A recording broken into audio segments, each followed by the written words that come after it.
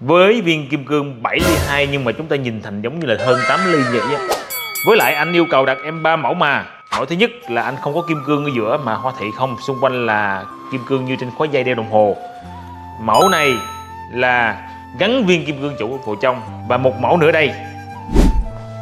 Mẫu này là anh đưa viên kim cương chủ lên trên. Với viên kim cương 7 ly 2 nhưng mà chúng ta nhìn thành giống như là hơn 8 ly vậy á. Vì ở dưới viên kim cương chủ này có một vòng tròn, có những viên kim cương nhỏ, lấp lánh, mà những viên kim cương đó kỳ lân tuyển chọn rất là kỹ. Và kỳ lân đưa theo bố cục là sẽ nằm ở dưới của viên kim cương chủ. Và kỳ lân chia theo tỷ lệ là 64 khi chúng ta nhìn chính diện vào viên kim cương chủ sẽ thấy 6 phần kim cương của những viên tròn nhỏ dưới, ở ngoài và 4 phần của những viên kim cương tròn nhỏ như nằm ở trong dưới đáy của viên kim cương chủ này. Giác quan chúng ta nhìn sẽ thấy là viên kim cương này to hơn kích thước thực tế.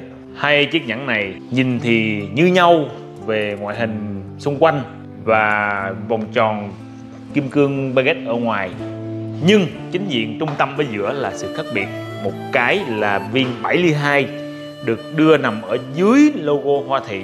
Cái viên chủ 7 ly 2 được nằm bằng với những viên kim cương tròn nhỏ ở trong. Còn mẫu này cũng là 7 ly 2 đều là 7 ly 2 nước đi và Vivet One 3 Excellent và những thông số tuyển chọn đúng chuẩn thông số quốc tế từ giác cắt độ rộng mặt bàn chiều cao cũng như là cân nặng, cũng như là trọng lượng của viên kim cương này đúng thông số chuẩn quốc tế và giá cực kỳ hợp lý. Bởi vì Kỳ Lân là đơn vị chuyên về sản phẩm cao cấp luxury tuyển chọn, không kinh doanh những sản phẩm sô bồ.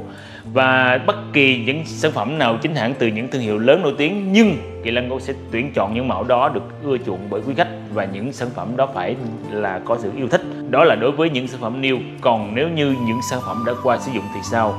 Nếu như là những sản phẩm đã qua sử dụng thì Kỳ Lân chỉ chọn những sản phẩm like new như mới, sưu tầm để Kỳ Lân giao lưu, phục vụ đến với tất cả quý khách yêu những sản phẩm cao cấp, sang trọng, đẳng cấp và thượng lưu theo tiêu chí của Kỳ Lân Luxury. Kỳ Lân Luxury, sang trọng, đẳng cấp, thượng lưu.